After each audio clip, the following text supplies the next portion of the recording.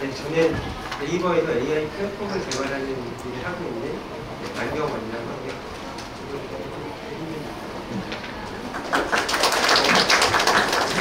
오늘 저희가 이제 준비한 내용은 저희가 AI 플랫폼을 개발하고 있다고 말씀드렸는데 어, AI 플랫폼을 개발하면서 저희가 스토리지를 제공하는 게 굉장히 어려운 일이었거든요. 그래서 어떤 어, 어려움을 겪었고 어떻게 그걸 해결해 왔는지 말씀을 드리려고 합니다.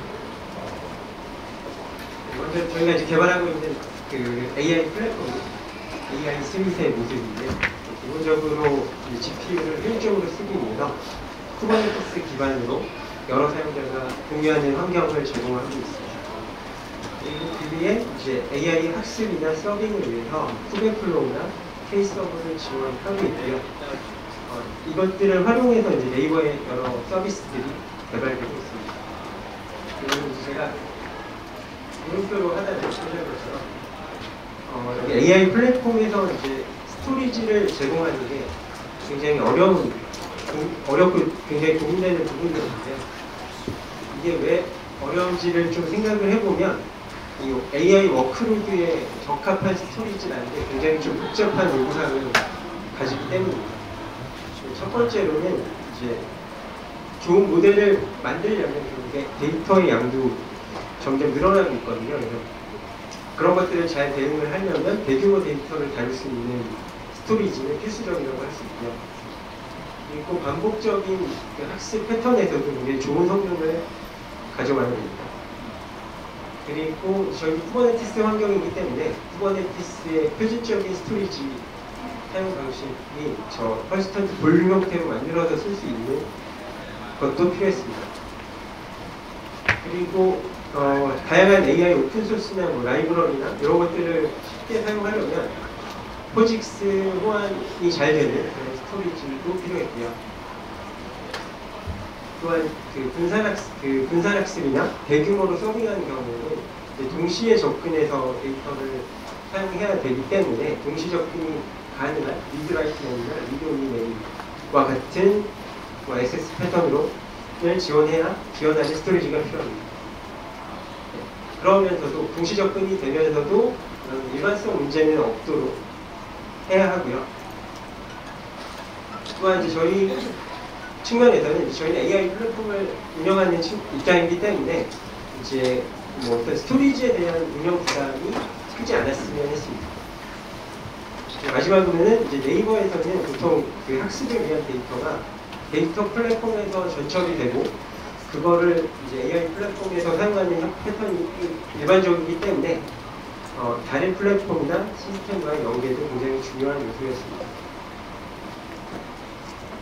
그러면 이런 요구사항을 만족하는 storage를 생각을 해보면 일단 외부에서 찾아보면 AWS EFS나 뭐 구글 Filestore 같은 어, 파일 storage를 사용해 볼 수 있을 텐데요. 일단 어, 비용이 굉장히 크고요. 그러니까 S3 object storage와 비교해 보면 좀 10배 가까운 네, 가격 차이가 있습니다. 뿐만 아니라 이제 AI 스윗은 네이버 사내의 내부 플랫폼이기 때문에 이제 외부의 어떤 클라우드 서비스를 사용하는 것도 어려운 환경이었습니다. 하지만 이제 어, 저희가 직접 새로운 어떤 storage 솔루션을 직접 도입해보고 그거를 직접 운영하는 거는 굉장히 좀 피하고 싶었고요. 운영적인 네, 부담 때문에. 그래서 결국에는 네이버에서 어, 내부적으로 잘 지원하고 있는 storage를 어, 잘 활용하는 방향으로 일단 검토를 했습니다. 그래서 밑에 표에 보신 것처럼 네이버에서는 어, HDFS와 이제 Nubes라고 하는 네이버 내부에서 만든 object storage를 사용할 수 있는데요. 어, 이것들이 바로 사용할 수는 없는 게 저희가 아까 말씀드린 대로 포직스를 포직스 지원이 필요했는데 어, HDFS는 Nubes는 그런 것들을 어, 지원하고 있지 않아서 직접 사용하기 어려웠고요. 그 외에 몇 가지를 더 살펴봤지만 어, 저희 쪽 요구사항에 만족하지는 못했습니다. 그래서 처음으로 저희가 시도했던 거는 어, 알렉시오라는 거를 HDFS와 연동해서 사용하는 것이었는데요. 그거를 잠깐, 네, 알렉시오에 대해서 잠깐 소개를 드리면, 어, 알렉시오는 이제 밑에 HDFS나 S3나 Ceph와 같은 어, 그런 저장소에 데이터를 저장하면서 caching을 지원해서 성능도 굉장히 우수하고요.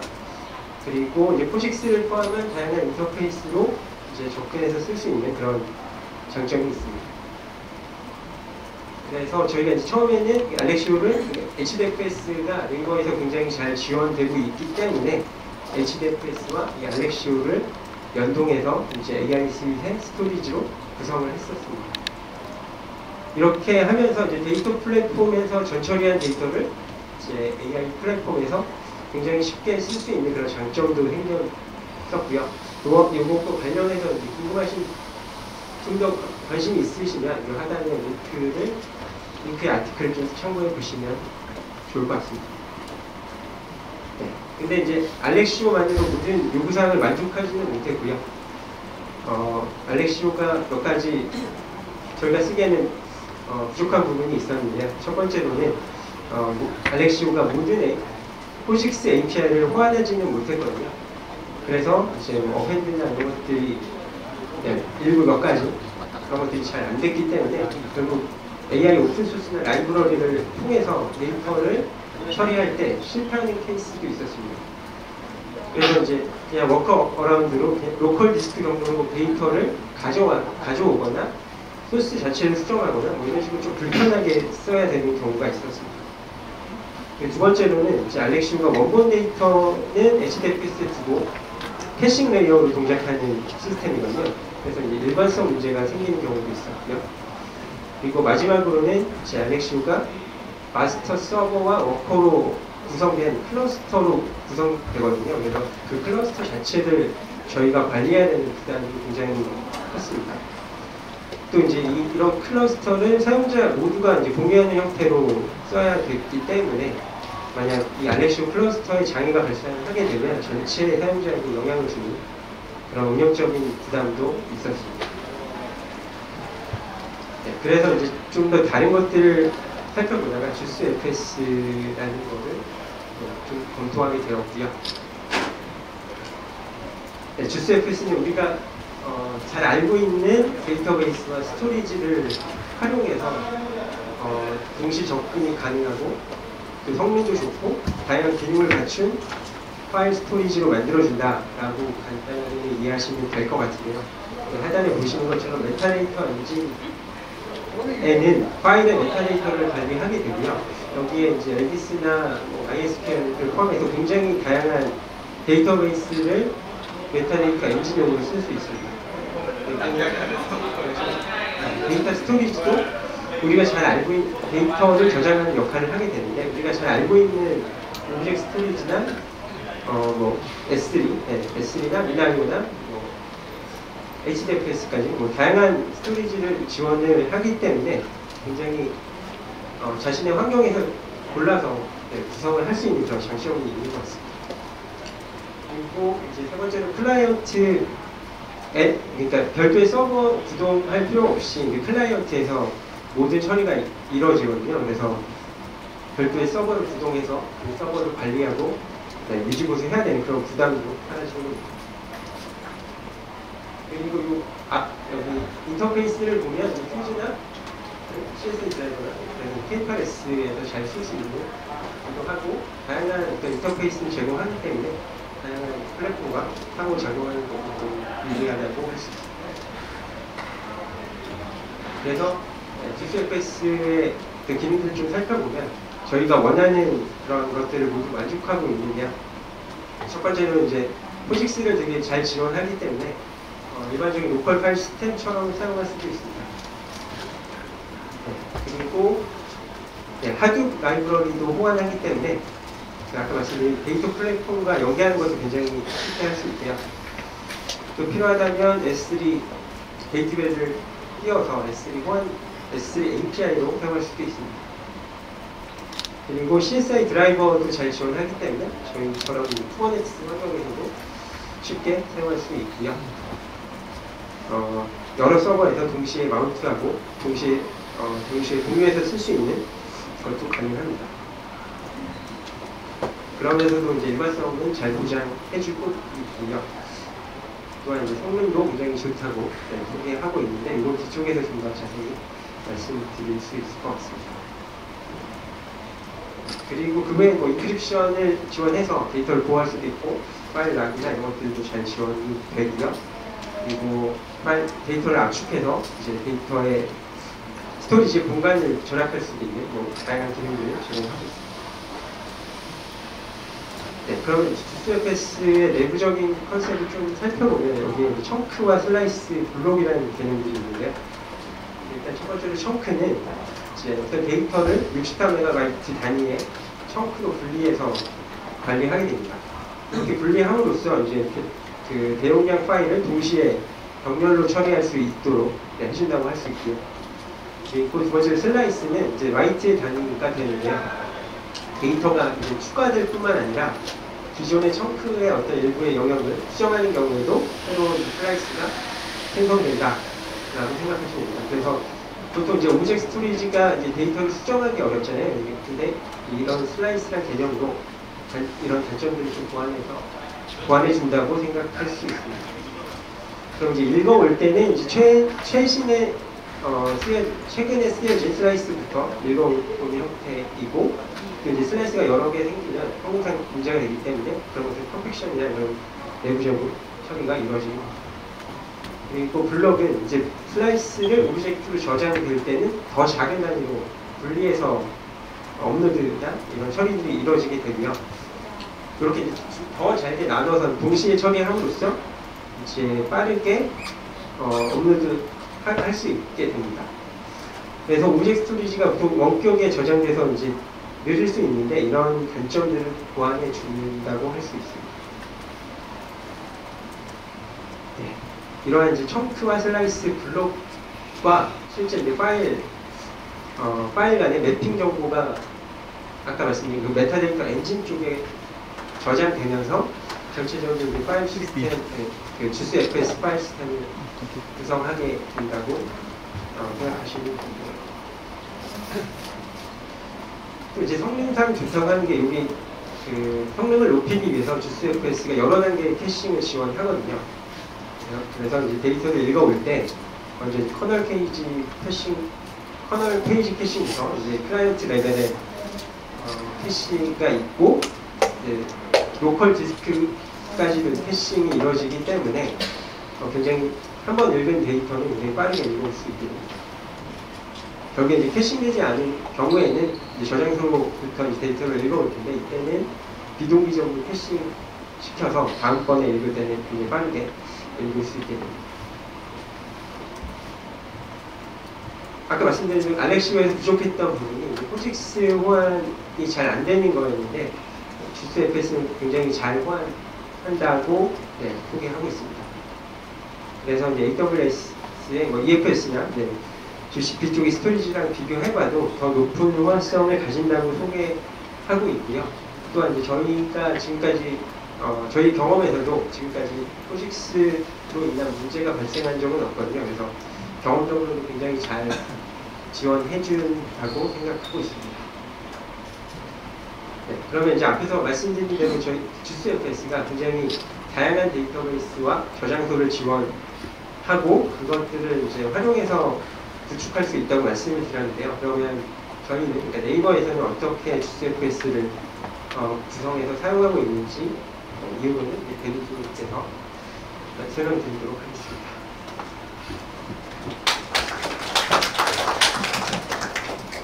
네, 안녕하세요. 소개받은 네이버의 백인준입니다. 지금까지 소개해드린 주스 FS를 저희 네이버에서는 어떻게 사용하는지를 지금부터 공개드립니다. 네, 저희가 주스 FS를 적용하는 꽂았을 때 마주한 첫 번째 고민은 바로 환경의 기능이었습니다. 그림은 저희가 운영하고 있는 클러스터의 아주 간략한 모습입니다. Kubernetes 클러스터가 있고 CSI 드라이버를 통해 JuiceFS를 사용할 수 있습니다. 하지만 그림에서 빠진 게 하나 있습니다. 바로 JuiceFS의 메타데이터 엔진과 데이터 storage를 어떤 것을 선택하는지가 빠져 있습니다. 네, 앞에서, 앞에서 설명드린 것처럼 JuiceFS는 메타데이터와 데이터 관리를 디커플링 구조를 채택해서 각각에 대한 선택을 자율적으로 제공되는데요. 하지만 네이버에서는 먼저 외부의 서비스를 바로 사용하기에는 힘들기도 했었고 그리고 저희가 자체적으로 구축하는 것보다는 네이버 내부의 플랫폼을 이용한다면 운영적인 측면에서 도움을 받을 수 있기 때문에 먼저 사내 플랫폼을 써보게 되었습니다. 네, 아래 보신 세 가지 플랫폼이 있습니다. 첫 번째는 사내 Redis 클러스터인 nBase-ARC라고 불리우는 플랫폼입니다. 그리고 두 번째는 object storage인 Nubes, 그리고 세 번째는 HDFS 클러스터인 C3S입니다. 첫 번째 Redis 클러스터 같은 경우에는 JuiceFS의 사용 시에 큰 문제는 없었는데요. 다른 두 가지 경우에는 몇 가지 문제점들이 있어서 이제 이들을 해결하고 적용하였습니다. JuiceFS는 데이터 storage 30가지가 넘는 object storage를 지원하고 있습니다. 지금은 추가 중인데요. 이 중에는 널리 알려진 Amazon S3나 Google Cloud Storage 같은 것들도 포함되어 있습니다. 네, 말씀드렸다시피 이제 네이버 내부에서 쓰고 있는 object storage인 Nubes는 현재 이 목록에는 없습니다. 따라서 JuiceFS를 그대로 사용하기에는 어려움이 있었습니다. 네, 이러한 문제를 해결하기 위해서 저희 JuiceFS를 직접 추가했습니다. JuiceFS는 여러 데이터 storage들에 대해서 일관된 인터페이스로 작업을 진행하고 있었습니다. 이러한 몇 가지 인터페이스들을 구현해준다면 새로운 object storage도 또한 가능할 것이라고 생각하였습니다. 저희는 블록을 다루는데 사용되는 주- 주된 다섯 가지 operation에 대해서 관련된 함수로 주로 함수를 구현하는데요. 자력줄이라는 비교 짧은 코드를 통해서 이를 실행할 수 있었습니다. 그리고 JuiceFS에서는 object storage에 대해서 테스트할 수 있는 명령어를 제공합니다. 오른쪽 그림과 같이 이를 통해서 현재 작동하고 있는지 이런 것들을 테스트를 할 수 있습니다. 네, 두 번째로 마주한 문제점은 multi-tenant 환경에서 마주한 문제였습니다. AI 수준 단일 사용자 클러스터가 아니라 multi-tenant 클러스터입니다. 따라서 한 사용자의 특정 작업이 다른 사용자에게 영향이 안 가게 하는 것이 중요했습니다. 따라서 이 과정에서 JuiceFS를 공유하지 않는 것도 중요했습니다. dynamic provisioning은 되게 중요합니다. 그 관리자의 개입을 줄이는 것도 운영 측면에 큰 이점이기 때문에 저희는 이것도 지원하도록 하였습니다. 이러한 문제를 해결한 그림은 앞에 있을 것 같습니다. 유저 1과 유저 2는 각각 자신에게 편리한 메타데이터 엔진과 데이터 storage를 준비하고 이를 사용할 수 있습니다. 이를 뒷받침하기 위해 저희 몇 가지 기여를 통해 JuiceFS를 구성하였습니다. 첫 번째로 JuiceFS CSI 드라이버가 dynamic volume provisioning 시에 고정된 하나의 secret을 참고하는 것을 구성하였는데요. 이를 통해서 저희는 multi-tenant하게 각 사용자마다 설정을 입력할 수 있게 지원하였습니다. 네, 두 번째로 이제 PVC와 secret의 삭제에 대해서 선후 관계에 따라서 PVC 데이터가 정리되지 못하는 문제가 있어서 이렇고 파일, finalizer를 통해서 해결하였습니다. 마지막으로 mount 옵션에 관련된 내용입니다. AI 수익은 AI 학습, 서빙, 데이터 처리 등의 다양한 workload에 serving하고 있습니다. 따라서 각기 목적에 따라서 데이터의 선택 또한 바뀌게 됩니다. 그리고 앞서 살펴봤던 것처럼 이제 JuiceFS는 여러 단계의 캐시도 옵션을 하고 설정할 수 있는 것들이 내용이 있습니다. 기존에는 설정값들을 지정하셨던데요. 네, 저희는 각 사용자들이 PVC마다 이런 설정값들을 적용할 수 있도록 개선하였습니다. 하나의 예시로 AI 학습을 위해서는 읽기 위주의 데이터를 사용하는데 이때 open cache 옵션이 되게 유용하게 사용됩니다. 이- 이것들도 PVC를 통해서 활성화할 수 있도록 지원하였습니다.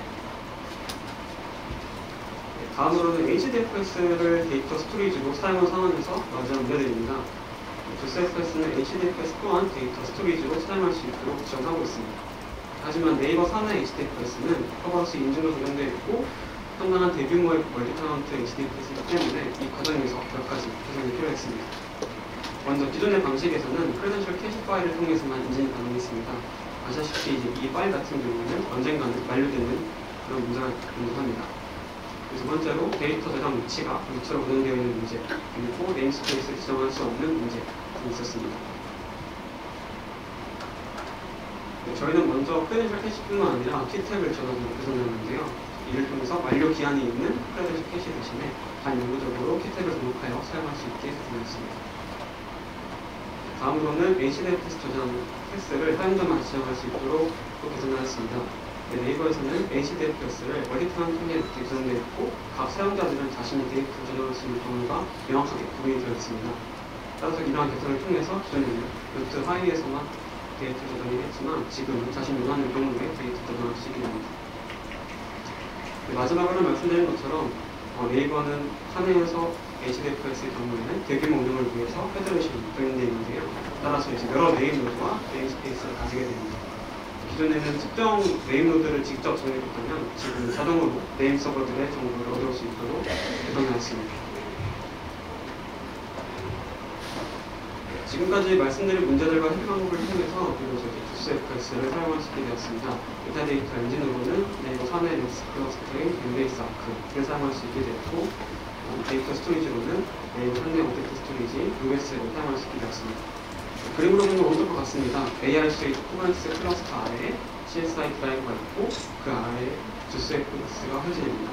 이러한 JuiceFS는 각 사용자만 설정한 본인이 원하는 메타데이터 엔진과 데이터 storage로 연결됩니다. 네, 앞에서의 기여를 통해서 사용자가 JuiceFS를 사용할 때 필요한 것은 secret과 PVC 단 두 개가 됩니다. 관리자 또한 스토리지 만들어져 있으면 크게 신경 쓸 무리 없습니다. 사용자마다 필요한 주스FS와 도쿄의 전용에도 PVC를 통해 입력받을 수 있도록 이미 작동이 되어 있기 때문에 편하게 사용할 수 있습니다. 간단히 말씀을 드리면 오른쪽에 있는 유저에서 시크릿은 메타데이터 이렇게 데이터 스토리지와 관련된 설정들입니다. 주스FS 파일 시스템 이름부터 시작해서 필요한 정보를 것을 볼수 있습니다. 이러한 기반 인증 정보를 가지고 오른쪽 아래 PVC를 설정할 수 있습니다. 먼저 오른쪽 위에 지정해주고 있어 인증과 관련된 설정은 이를 통해 진행하고 설정할 수 있습니다. 기타 뭐 경로 지정이나 추가 mount 옵션들도 이제 PVC를 통해 설정할 수 있습니다. 이러한 설정은 왼쪽에 storage class라고 하는 관리자가 지정해 만들어 놓은 리소스를 통해서 binding provision이 진행되고 자동으로 PVC가 만들어지고 PV가 만들어지고 PVC에 바인딩되는 그러한 순서를 진행합니다. JuiceFS를 간단하게 테스트해보면 됩니다. 저희가 중요하게 생각하는 부분은 JuiceFS가 다른 storage class에 비해서 성능 저하가 있는지 확인하는 것이었습니다.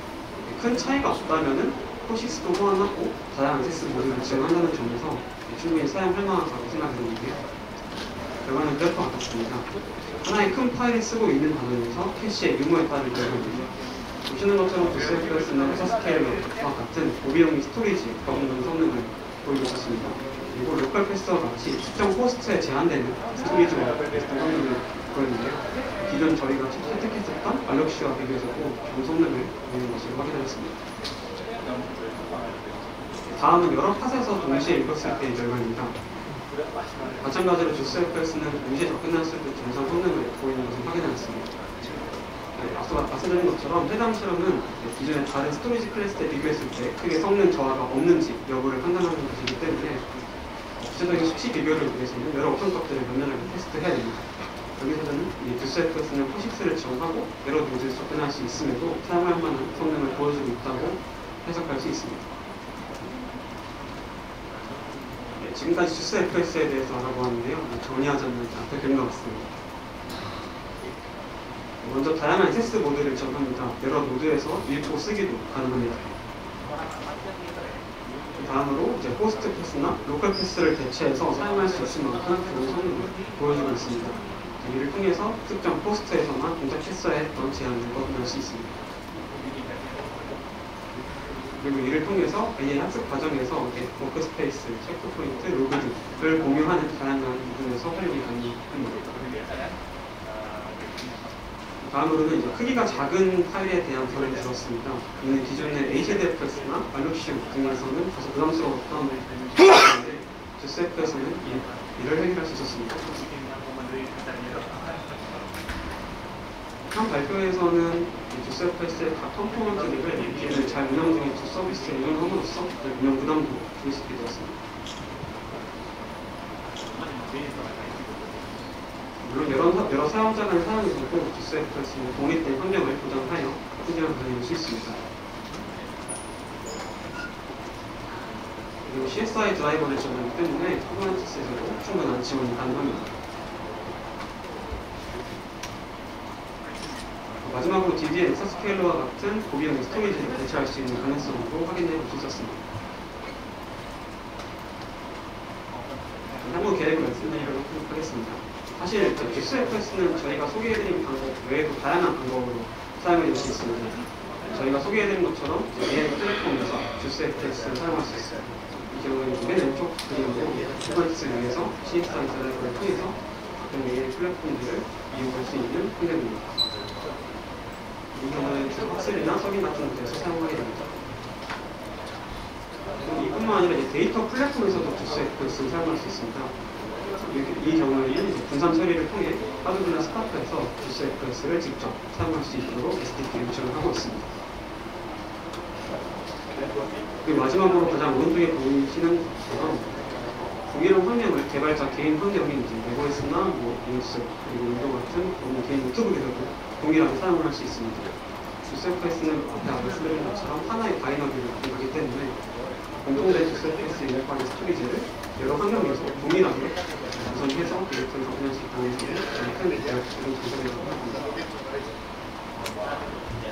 저는 환경을 가져가면서 대단히 하는 그런 부분이 GCFS를 통해서 통합되어 해결될 수 있습니다. 저희가 준비한 발표는 여기까지입니다. 발표해 주셔서 감사합니다.